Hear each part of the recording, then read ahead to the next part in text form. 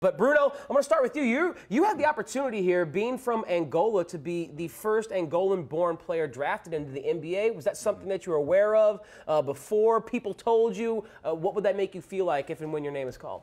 Um, yeah, it's definitely something I'm aware of. Um, obviously, you know, playing basketball for a long time, and not one person from Angola ever made it to the NBA. So, you know, I'm I've been definitely aware of that my whole career, and obviously, I am selfishly trying to be the first one.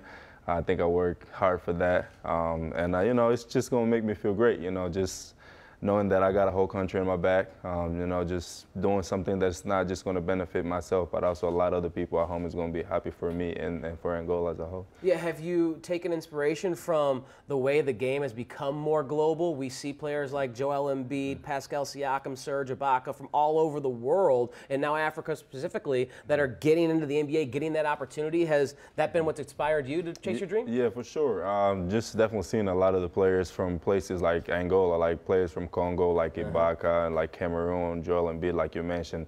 And I, you know, just obviously seeing those players and just, you know, thinking that they were, you know, in my shoes before, you know, if they're able to do that, then I'm, de- I'm definitely able to do that. So that makes it a lot easier for me to just, you know, think of myself and, and just, you know, put higher standards to where, you know, I'm definitely able to achieve that dream.